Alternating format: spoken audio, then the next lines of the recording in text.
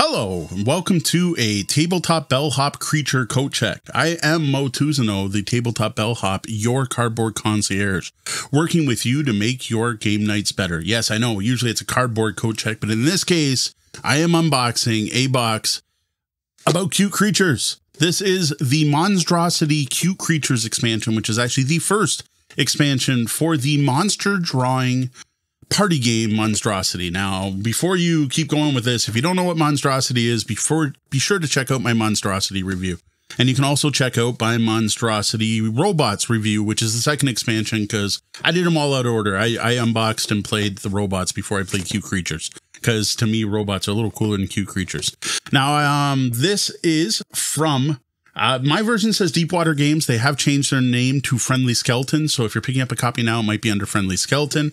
Um, this should have 50 new cards and an additional player board. But you know what? Let's just get to it. Let's show off what's inside now. Fair warning. Except for this, this shows lots, lots monsters. I am not going to show you the monster deck because MonsDRAWsity plays so much better if no one's seen any of the monsters every round you play. So we're not going to show off the monsters in here. I'm going to show you off one. Whatever one is on the bottom of the deck, I'll show. Cards and a board. Oh, so disappointing. All right, no new rules. I was really hoping, I was really hoping. So MonsDRAWsity Robots came with a whole new variant to play, which I actually thought was better than the original. Not in this one. Instead, you have a new board, no new dry erase. It actually has cute creatures in the back, so that's cool. And we have new cards, which feature cute creatures. Again, I'm not going to open this, but you get to see one of them here.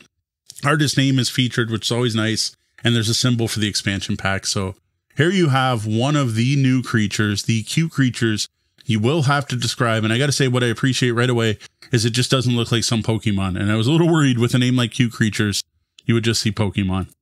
So that's it. That, that's all you get. It's honestly what I expected. I was hoping for a rule ver- expansion. Board, new cards, new box.